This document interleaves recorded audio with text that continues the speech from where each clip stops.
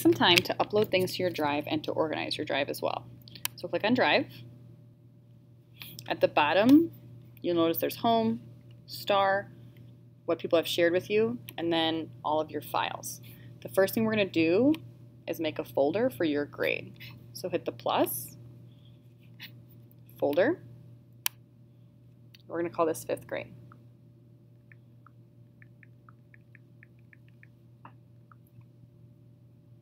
I'm going to put a star here so that's you guys. Okay, create that folder. Then go inside that folder and think about what other folders you're going to need. I would probably do one for photos, maybe for different subjects, writing, social studies, music. Think about what you have on your iPad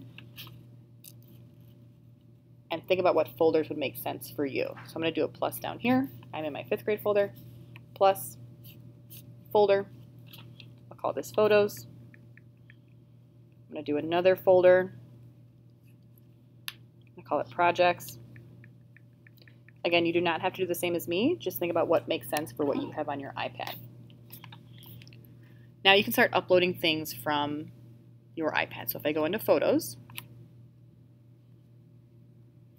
I can hit the plus down here, upload, and then you can start clicking on certain photos and videos. I wouldn't do more than 20 photos at a time. It might freeze your iPad. So that's how you upload photos. Say you want to upload a Keynote project or something from Book Creator or Clips or iMotion. Think about what projects you want to save. I'm going to show you an example from Book Creator. Most of your apps will have a Share button that looks like this. So hit your Share button. For Book Creator, choose PDF. You can choose if you want single or side by side. And then it'll allow you to copy it to your drive.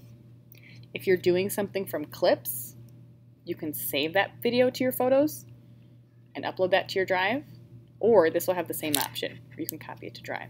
Again, most of your apps will have that Share button. Let me show you what it looks like in iMovie, for example.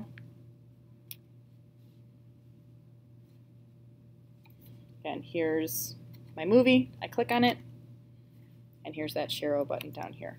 And it'll allow you to either save it to your camera roll, or you can copy it to your drive. So we want to make sure that we have folders in our drive, that we're uploading things from our iPad. And the last thing, you might want to move things that are already in your drive, Google Docs, Google Slides.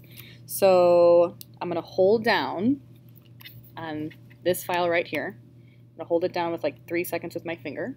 Notice how this blue check comes up. It allows me to check other things if I want to move them. So I have this checked. I might want to check this and this. If you do want to move it to a folder, click up here where it has the folder with an arrow, move it to your drive, and then choose what folder you want to move it in. Okay? Go ahead and take some time to upload and to organize your drive.